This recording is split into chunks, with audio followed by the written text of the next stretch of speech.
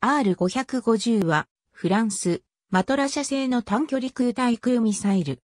アメリカ製のサイドワインダーと競合するミサイルであり、原型のマジックと改良型のマジック2に分けられる。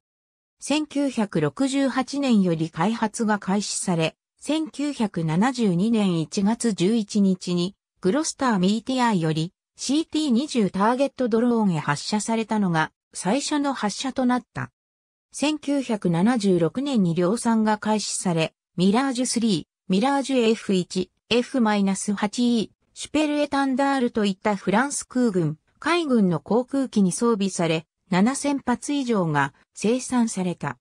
AD3601 型シーカーを搭載しているが、これは窒素によるジュール・トムソン効果を利用した冷却措置を導入している。1970年代末より改良型のマジック2が開発され、1985年に完成。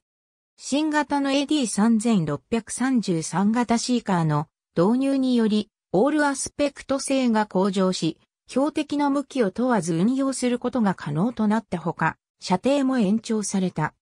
R550 は南アフリカ、アルゼンチン、イラク、クウェートなど各国で用いられ、数多くの戦果を挙げている。現在、ラファールに至るまでのフランス製戦闘機にとどまらず、F-16、J-7、ミック -21、ミック -23 など15機種による運用が可能で18カ国で使用中であるが、フランスではミカ IR により更新されつつある。